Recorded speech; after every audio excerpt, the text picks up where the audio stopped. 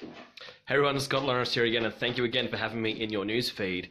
And so it's really important to have like a really fast recovery time. That if you see a lot of clients, or if you like you work really well, or you know you put out some ads, or like you travel, or you have family stuff going on, that that stuff can be exhausting, and then your brain can turn to mush. It's like talking to a lot of people recently about like you know like when if I work really hard, how my brain can turn to mush, or if you work really hard, how your brain can turn to mush. It happens. We all become like a little bit mush brain after a while, and you need to be able to recover quickly. You need to be able to refocus quickly on what's really important to you instead of just being brain mush or or physically just mush all the time just because like you're just so exhausted.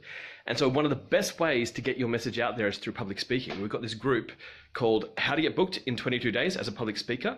So for 22 days, we get you and 19 of your peers. I think we've got like about what, like 10 spots left or something at the moment just say I'm in the comments section if you want to join the groups. The last day to join for $15, where there's the ultimate training like how to be a world class public speaker, but also 19 of your peers that you, none of your peers will be basically posting one video per day for 22 days to grow your business and to grow your skills as a public speaker, to basically to bounce back quickly, to get your message right, to make sure that you absolutely nail your message so that your clients want to come and see you, to make sure that you nail your offers so that people actually know what you sell so that basically you can fill your clinic.